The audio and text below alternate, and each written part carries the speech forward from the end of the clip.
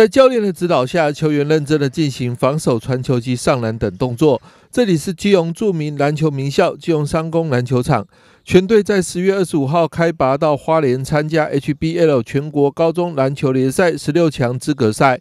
身兼基隆市篮球委会主任委员的立法人蔡世英特别致赠加菜金，鼓励选手在球场上能表现出最好的一面，争取佳绩。基隆商工传统上就是基隆之光。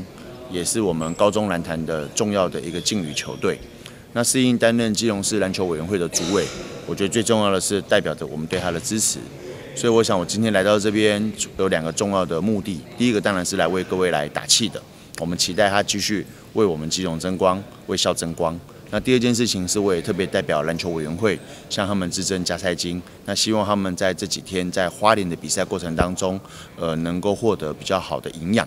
那我觉得这是非常重要一件事情。我们跟全国四十三个球队在做比赛的过程当中，我们绝对不可以输给人家。过去基隆三公篮球队曾获得全国第三名的好成绩，将带领篮球队远征花莲的基隆三公校长洪光贤希望这一届能达到重返全国八强的目标。我们期盼孩子都能够做到最好的自己，哦，把呃最好的实力能够带出来。当然，我我如果说真的有目标的话，我们期待就是基商能够尽早重重回 HBL 的八强的一个行列。那我相信今年我们。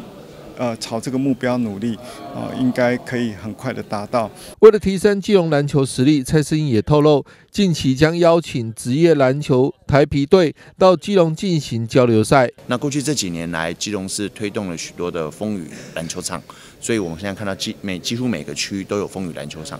对于我们喜欢打篮球的好朋友来讲，其实是很方便的一件事情。那我们就期待未来有更多职业化的球队也能够在基隆做交流。那这也是适应未来努力工作的目标。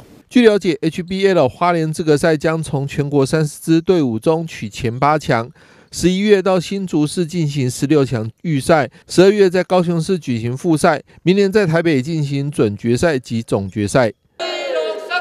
旗开得胜。记者张启腾、季勇报道。